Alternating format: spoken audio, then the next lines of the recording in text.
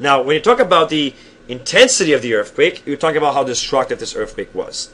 For example, the Chile earthquake and the Japan earthquake that recently happened were very, very strong earthquakes. They were ginormous moments of magnitude.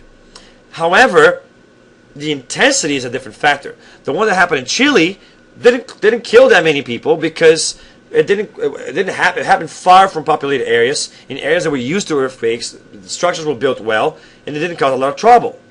The earthquake in Japan, on the other hand, caused a vast tsunami and several other collapses, which killed hundreds of thousands of people. And so that was a very, very intense earthquake. Now, the one in Haiti, although it had a very low magnitude compared to these two earthquakes I just talked about, it had a stronger intensity. Intensity is different from magnitude. Don't get them confused. Intensity is talking about how much destruction happens because of earthquakes. And so the modified Mercalli intensity scale is a Roman numeral scale that is used to measure how bad earthquakes actually are, not in the sense of the energy they release or how much ground movement took place, but in the sense of how much damage actually happens. And it goes from a 1, where it's not felt at all and it barely caused any problems, to a 12, where we have total damage. Uh, all the lines of sight and levels are destructed, objects are thrown into the air, and the city pretty much gets leveled and thousands and thousands of people will die. And so that is an idea of how you can use to measure the intensity of earthquakes in terms of the destructive power that it has.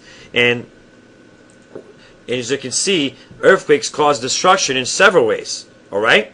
But when it comes to talking about the intensity, a lot of things will affect how intense an earthquake is. First, of course, how strong it is, or the magnitude will definitely matter how much that rock was bent and how much energy released is going to make, be a major factor in determining the intensity of the earthquake. Also, how deep the earthquake was will matter. The deeper the earthquake, the less destructive it is because those waves will have to travel to the surface and will lose power as they do so. So shallow earthquakes tend to be more powerful. Also, if you're far from the actual epicenter of the earthquake, those surface waves will decrease by the time you get to you. And so you're not going to have that much problems. So the distance from the epicenter also will matter. Uh, the local geology matters too. A house built on sand will be much more affected by the earthquake than a house built on stable rock, which is much tougher to bend in a seismic wave scenario.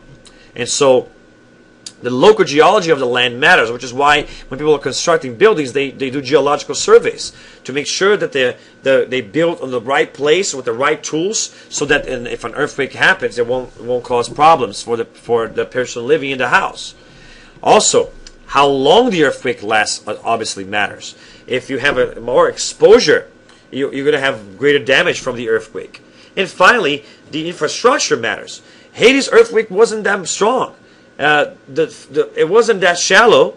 Uh, it, the epicenter was actually close, but not that close to the city.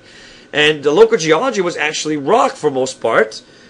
It, it didn't really last that long, but the human infrastructure was not prepared to deal with the with the power of the earthquake. The houses were not built appropriately, and that is why so many people died because they were not ready for an earthquake in that of that magnitude that happened. All right. On the last video, we're going to be talking about how earth, earthquakes cause destruction, what you can do to keep safe, and what we can do to predict whenever earthquakes will actually take place. I'll see you guys then.